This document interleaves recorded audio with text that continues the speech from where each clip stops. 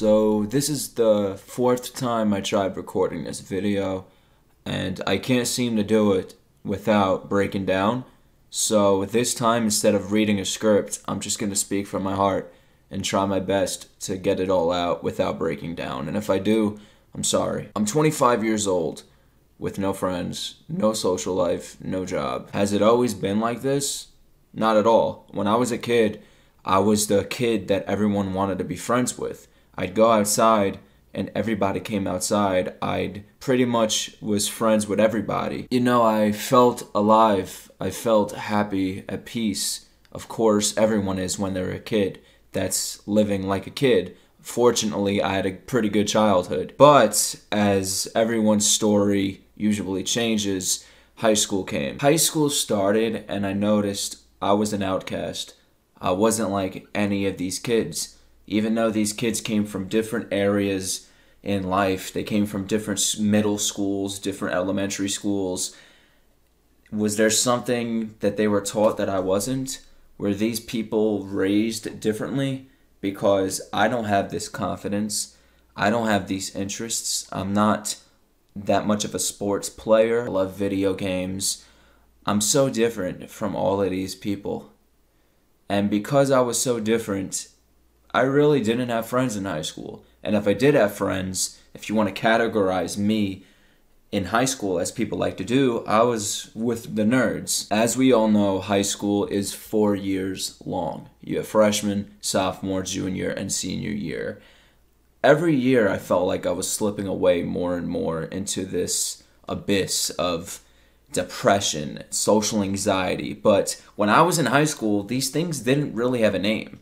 No one really said they were depressed or they had social anxiety. It wasn't put on notice as much as it is nowadays. It was more of uh, you're just you know in a high school, you're just a teenager, you're going through emotions, your body's changing. It was just seen as normal. The reason I was so anxious, so depressed, was because everyone was thinking about their next move. Everyone's thinking, what college they're going through, their future job, the career they want. And I had no idea what I was doing the next day. I had no idea what I wanted to do. Everyone was doing interviews with college professors that came to the school, and all I was thinking about was which game I'm gonna play when I get home. So I graduated high school and I realized wow, I'm a failure. I don't have a college picked out. I don't have any friends. What do I do now? This is when I was at the lowest point in my life. This is when I went on Instagram, Facebook, Snapchat, and I saw all of these people I went to school with in college chasing their dreams. Some of them have families of their own now.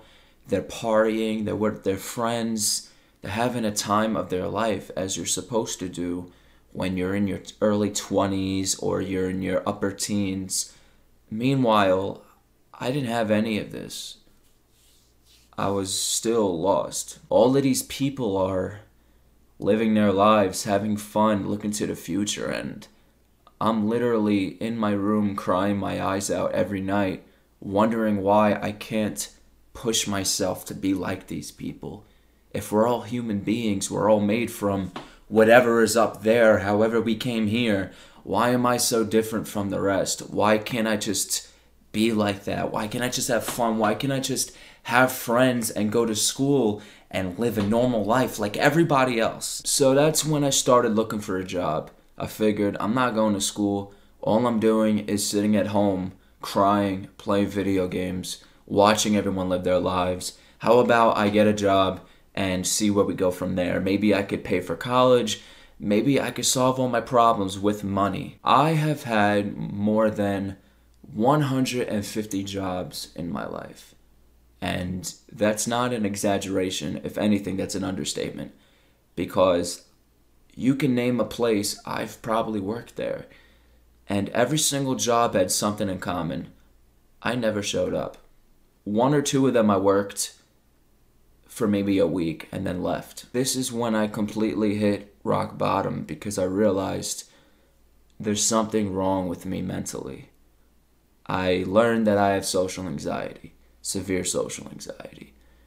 I would show up to this job, sit outside of my car, an hour before I was supposed to go into the job, crying my eyes out, vomiting outside the car, scared out of my mind. What if I do something wrong? I'm too stupid to learn this job.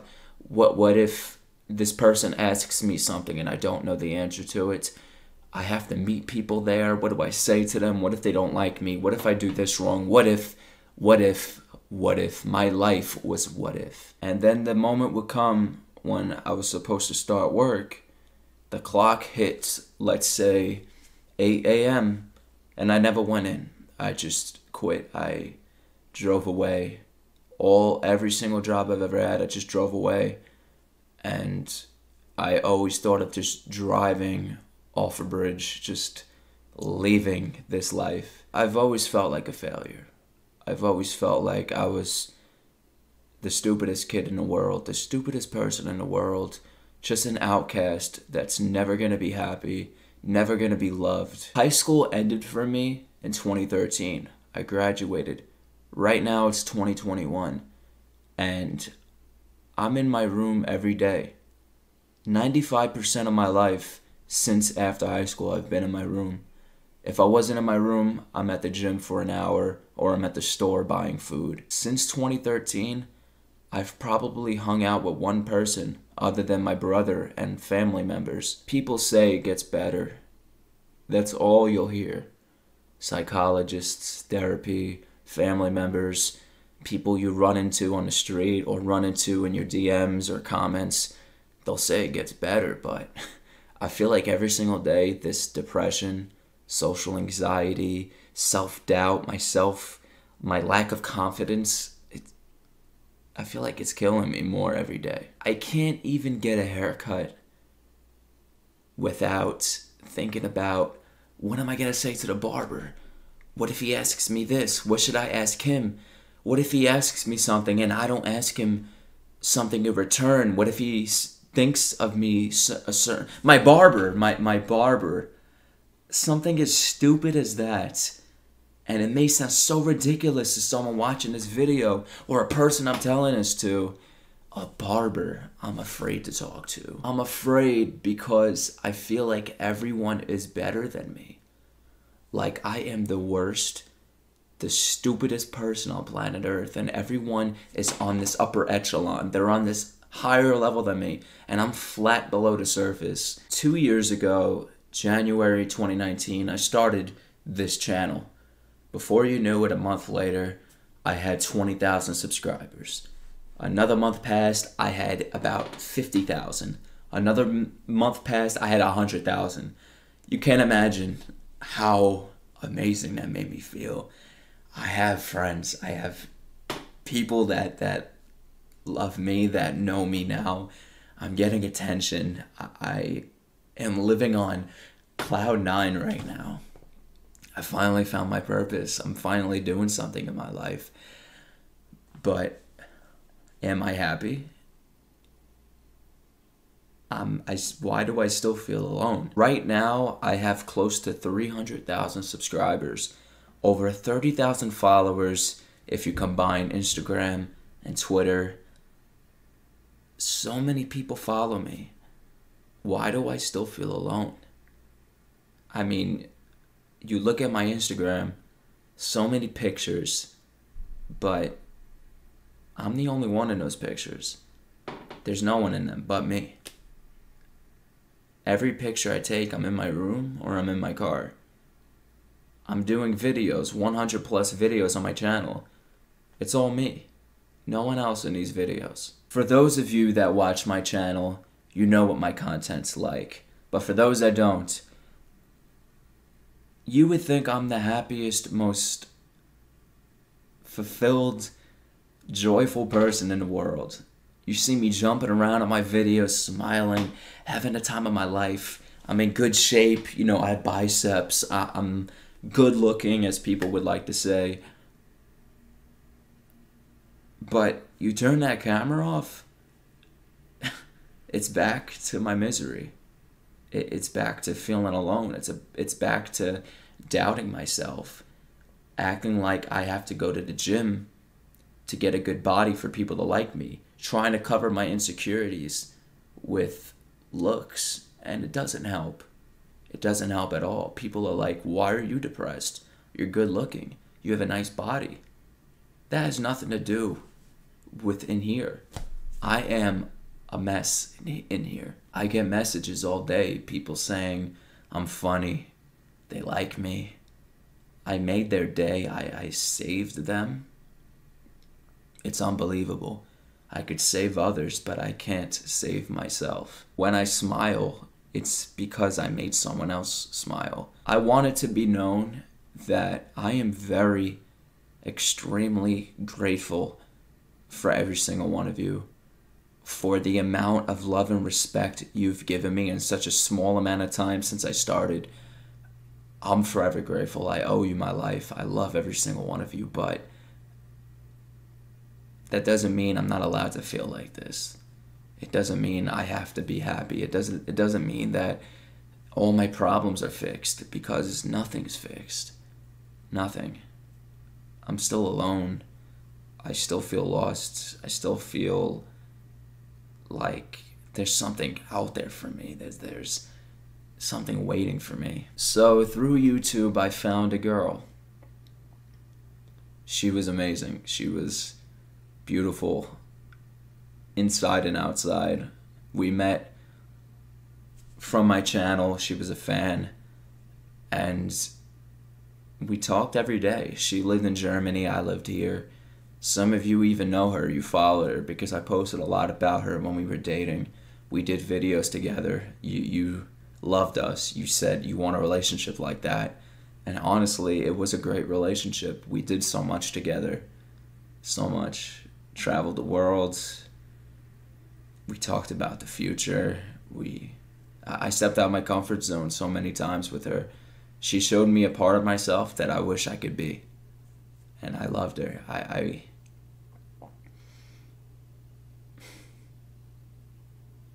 This is the part of the video where I keep crying, but I feel like I got used to it, so now I could talk about it without breaking down. But it's funny that the girl that I wanted to spend my life with now looks at me as a distant memory. I was just a prologue to her story. It's just something that came before when her real story began. She was my best friend. I lost my best friend, my only friend. And I thought that was the end. I thought it can't get worse than this. I finally found a reason to live. I finally found what I've always wanted. And now I lost it, and I'm never going to get it back. I should just end it right now, save myself from being disappointed even more. Notice how earlier I said that I had a friend besides my family that I hung out with once. She was that one friend. And I don't have that friend anymore. We broke up, and like I said, I just wanted that to be the end. I just wanted to leave this earth that second. But I took a deep breath and I said, I'm going to keep going maybe this was a sign this was supposed to happen to me to give me a push to push me to be better to push me to follow something and that's when i decided to make a plan and stick with it because unlike everything else in my life where i just do it and i never complete it or i just don't even start it to begin with i'm gonna have a plan i'm gonna follow it and i'm gonna be happy and that's not going to derive from someone else. That happiness is going to come from within. I'm going to love myself. And maybe if I learn to love myself, believe in myself, have confidence, stop doubting myself, stop thinking I'm stupid and the ugliest and worst person on the planet,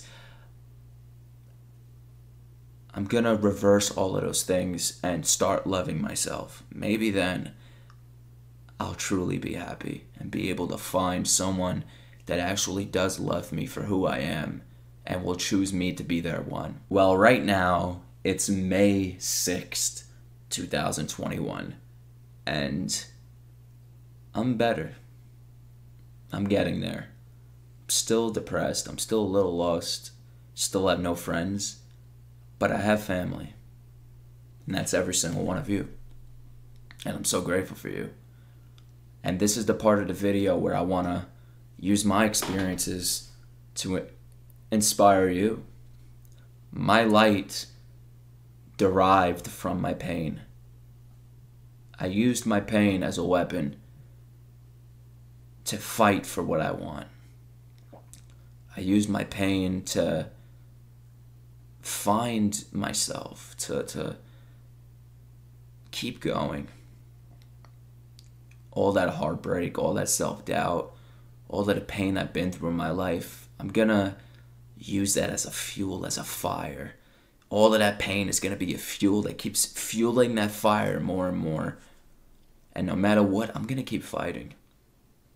300,000 subscribers or zero, whatever it takes, I'm gonna keep fighting until I'm happy. So don't think that just because you see me successful on social media and YouTube that I'm happy. I'm happy and smiling because of those I met, because of the messages I get and the love I get every single day. But it doesn't mean I'm fully happy. To find myself, to be truly happy, I have to keep fighting. And you have to keep fighting too. You have to find that light. Every one of us has that light inside of us that is just waiting. It's just waiting. It's like a star in the sky. It may be so distant, but one day you'll be able to see it bright. You'll see yourself as the brightest star. No matter how distant that future may be, could be tomorrow, could be an hour from now, could be years. You gotta keep looking up, even if you don't know what you're looking at. Because eventually you're gonna find yourself, you're gonna find that star, that bright star, and say, I did it. I, I fought my whole life. I looked up my whole life, and it finally paid off.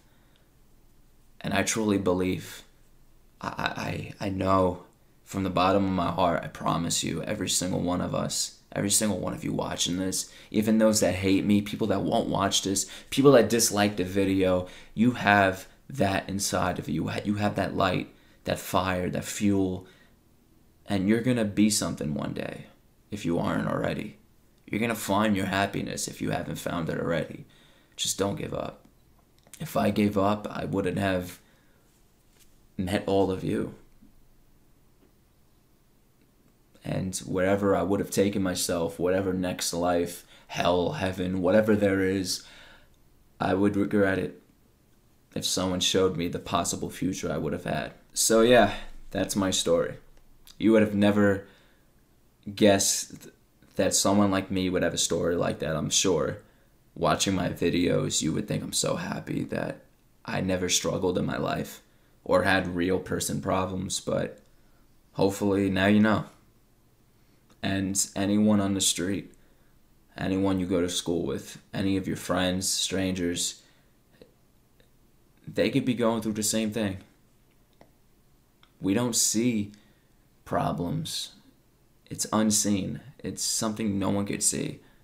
But everyone has them. Everyone. I don't want you to worry about me. I never want to worry people that love me or people I love. Even if you don't love me, I love you. I love every single one of you. And because of this channel, I actually met a different girl. And I love her she makes every day better. She makes every day worth living. I hope it works out.